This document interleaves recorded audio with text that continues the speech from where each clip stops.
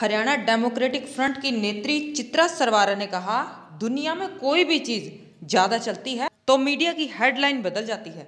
लेकिन भारत के किसान इस बात के लिए बधाई के पात्र हैं कि करीब चार महीने से चल रहा किसान आंदोलन दिन प्रतिदिन ज़ोर पकड़ रहा है।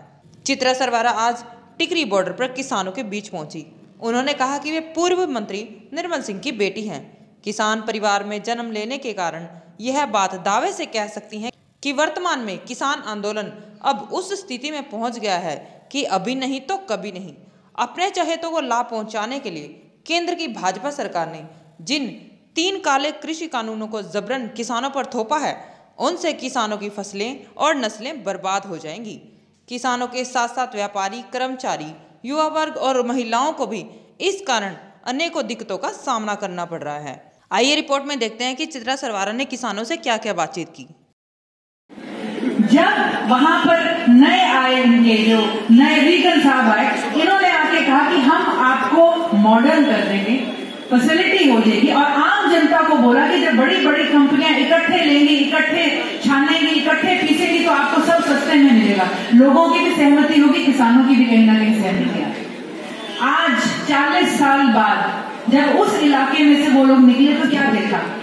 उस वक्त और आज भी अमेरिका में हमारी तरह 90 प्रतिशत जो किसान है, छोटा किसान है।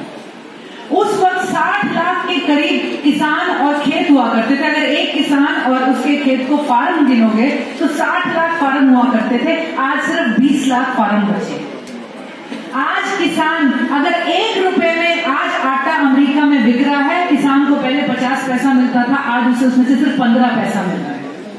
आज बेरोजगारी और भूखमरी, और बच्चे वो जिनके पास खाना पूरा नहीं पड़ रहा, आज अमेरिका में पड़े हुए हुआ क्या? बड़ी बड़ी कंपनियों को उन्होंने लाके कॉन्ट्रैक्ट फ़ार्मिंग किसानों के साथ करी। और उन कंपनियों ने क्या करा कि बीज अपना फर्टिलाइज़र अपना मशीन अपनी खरीद हम करेंगे, बेचेंगे हम। मार्केट में रेट उन्होंने आर्टिफिशियली नीचे कर दिए। जब कॉन्ट्रैक्ट में जमीनें आ गई तो उसके ऊपर ना सीएलयू होना है, ना अलग से प्रोजेक्ट बिकना है, ज़मीन के रेट पिट गए। किसानों के पास कुछ नहीं बचा। जो खानदानी पुश्तैनी खेती करते आ रहे थे, वो किसान आज वहाँ पर 12 घंटे की किस्त लगाते हैं, अपनी फैक्ट्रियों में जाकर और ये कोई सरप्राइज़ की बात नहीं, इस सरकार ने पिछले साल 12 घंटे फैक्ट्रियों में काम करने की जो है, उसका प्रपोजल डाल दिया है। आज 70 प्रतिशत अमेरिकी सरकार का बजट सिर्फ़ 20 प्रतिशत किसानों को मिल रहा है। बड़ी कंपनी को सब मिलेगा, चाहे लोन है, चाहे रियायत है, चाहे माफ़ी है, छोटा किसान वो पुगा ही नहीं सकता। कंपनियों ने किसानों की लागत महँगी कर दी क्योंकि बीज कितने पे बेचना है, उन पे डिपेंड करता है। उनकी इनकम घटा दी क्योंकि आपसे खरीदेंगे कितने में वो भी उनके ऊपर डिपेंड करता है। इन सारी चीज़ों को करते हुए आज किसान मरा।